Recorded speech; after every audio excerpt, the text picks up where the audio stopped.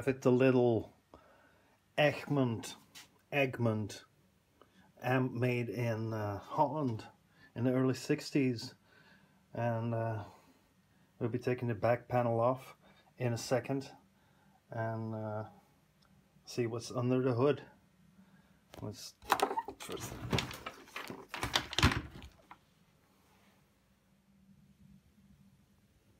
Okay. Pop. Okay. Let's have a proper look.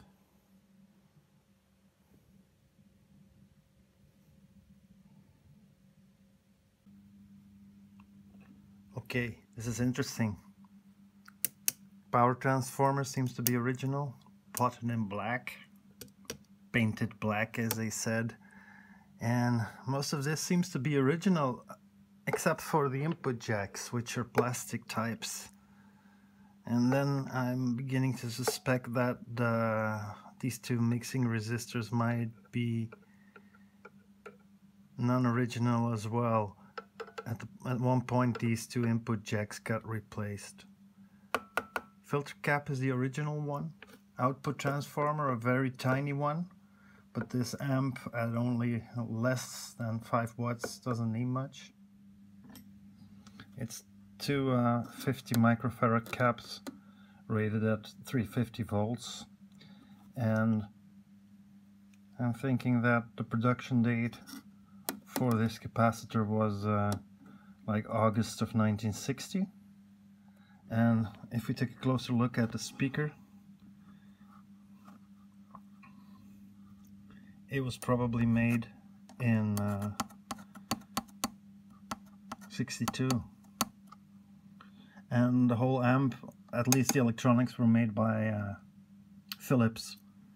I think uh, the little uh, enclosure in wood is probably made by Egmond itself, but uh, not so for the electronics.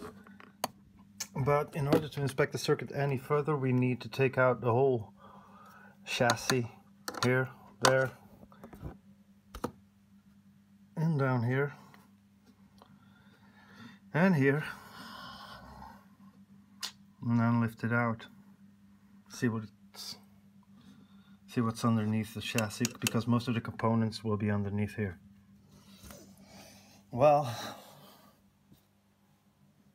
turret board construction and it's uh, mustard cap bonanza.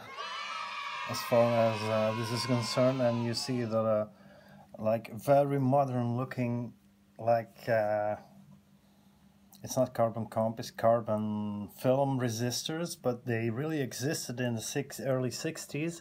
I think this is probably 63. Um, they were invented by, I think, a company called Erie in, uh, in the 50s, late 50s. But this, I hadn't expected to see this kind of beauty. Got one, two, three, four, five, six, seven mustard caps and uh, I don't know what types are these. They probably have a date code on them, but I don't think there's been much uh, that's changed to the amp except for the input jacks. I cannot believe they uh, they had the plastics ones in '63.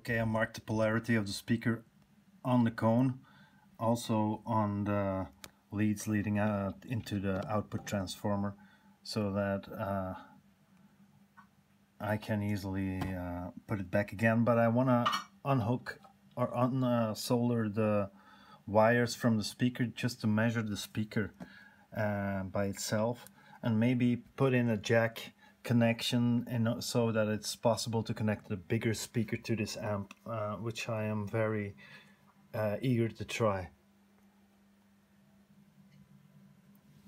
I will trace out the whole circuit. Um, I've made some pictures. Uh, this is the preamp tube and um, the whole problem with these beautiful knobs is that both volumes control volume controls are in front of the amp so it's like an additional uh, volume knob on your guitar. And it's not in any way, it's just in front of the amp, so it's completely useless. I always turn it up all the way when I play the amp. So uh, that's not the best solution. So signal comes in, goes to the volume pots.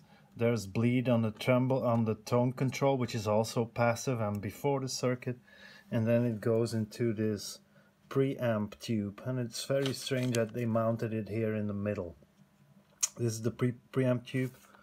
Uh, this is the uh, output tube and this is the rectifier I think. Um, these 74 nano capacitors probably make up the uh, tremolo circuit. Okay, measuring simple DC resistance uh, on the speaker to get some idea of the impedance of the speaker I get 5.2 ohms which seems to indicate that the speaker is a little over 5 ohms uh, like a 6 ohm speaker I don't know it's not really anything on the speaker that gives some indication even though I found another date code here and it seems to say like like 61 I don't know. I could look up the type because it's probably uh, a Philips speaker. So again here are the two input jacks who uh, each lead into uh, their own volume pot. These are 500k and uh, from these pots the output from the pots is uh, the output from the pots just is mixed together using these mixing resistors into some shielded wiring that leads into the grid. So that's 180k these mixing resistors. Uh, the tremolo pot is um, let me see. This one tremolo pot is 1 meg the tone pot is 500k the tone pot is um, bleeding off signal simply from uh, connecting to the end of the mixing resistors here. So it's all this is passive circuitry in front of the amp before the signal goes into the grid of the first uh, tube, the preamp tube, the only preamp tube. I did notice that the grounding on the second input is loose. So we'll we will fix that while the the iron is still hot. Okay, I traced out most of the circuits, most of the circuit, and uh, what's basically going on in the power section is that the rectifier tube is receiving like 240 volts AC and giving us 300 volts DC and then it goes to the power rail. We get a, a 32 microfarad cap to ground and then we have the filter section with 1k and then at this node this feeds to the uh, power tube. Then we have a 47k and then there is another cap to ground which is this big thing here as like a sort of last filtering stage. And then there is a 680k resistor serving as a plate resistor for the 12AX7 for the amplifying part. This is very strange. I never seen a plate resistor this value. It's usually 100k for these kind of preamp tubes, sometimes 220k. So if we look at the voltages, we got 300 coming in. After the 1k, we got 297. Uh, after the 47, it's 275, but after the 680k resistor, it drops down to about 70 volts. So the plate of the preamp uh, is running at 70 volts. I don't know if we can reduce this uh, resistor at all and increase the gain a bit because um, that's what the amp is lacking. Anyway, there's only one preamp stage because uh, that we've got the tremolo. Yeah, so this these are the two inputs. They immediately go to two uh, 500k pots and then to the mixing resistors of 180k and then we have a, a, circuit, a tone bleed off, even before we reach the grid of the first, uh, of the first and the only preamp stage. This is where we see this uh, 680k uh, resistor on the plate, and um, 2k2 and 50 or one maybe 100 nanofarads on the on the cathode. But also this cathode is connected to uh, the second part of the triode that uh, functions as the oscillator. So um, this half of the triode oscillates, voltage goes up and down, modulating the cathode of the preamp, and that's why the volume of the preamp goes up and down like this. Well, Skip Simmons says that mustard caps don't go bad ever. Well, uh, let's check it out. I've of course already checked it. Let's move some stuff out of the way.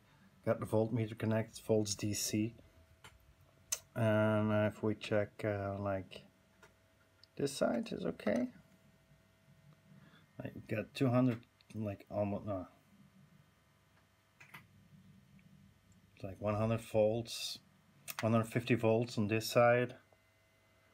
On the other side we should see zero. And that's cool that's okay. But if we check this one,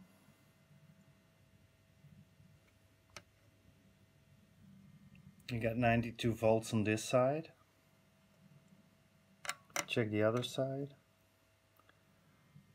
We still have like 150 millivolts.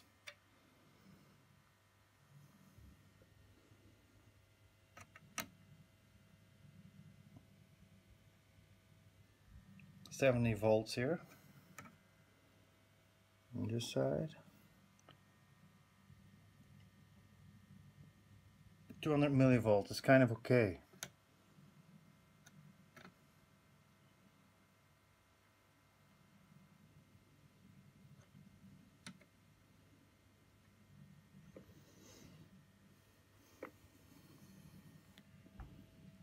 Uh, if we check the main voltages, you can see like it's about 300 volts. The second node is 295 volts.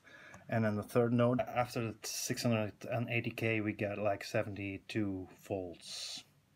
That's the plate.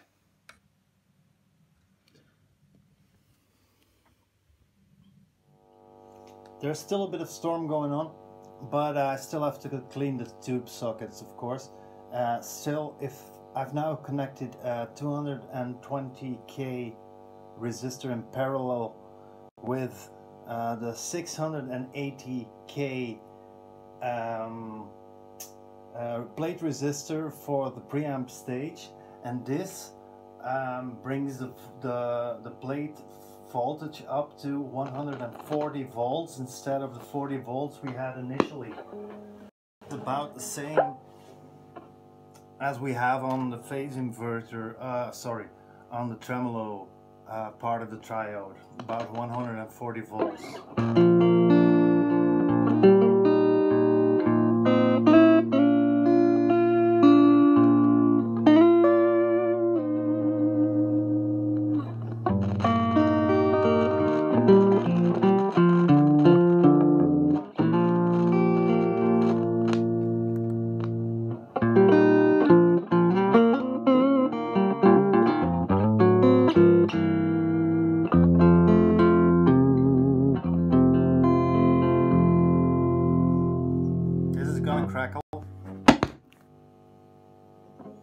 To 680 volts.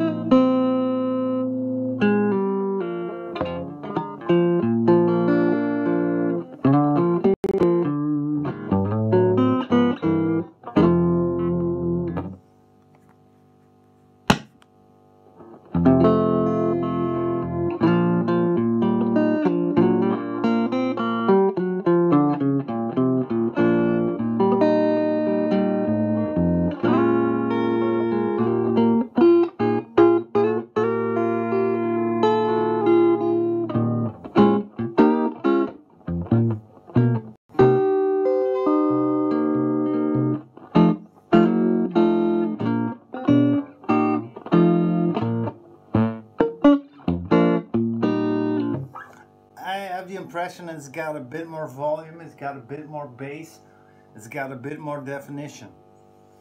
And that's the difference of a 70 volts. It's barely audible, especially at this volume, but still I think it deserves a 100k plate resistor like any other preamp stage. And I need to clean those fucking tube sockets. Well, the foot switch for the tremolo is about the craziest piece of machinery I've come across in a long time. It seems to be repurposed from Granny's nightstand. Nighty night, Granny! Or she pulls out the light, but it, uh, of course, it's plastic and uh, threading broke already. So look at this. Underneath is a, like a, a roll of piece, a roll of toilet paper, a rolled together roll of toilet paper toilet paper roll, whatever. And but um, I'll be putting in this one.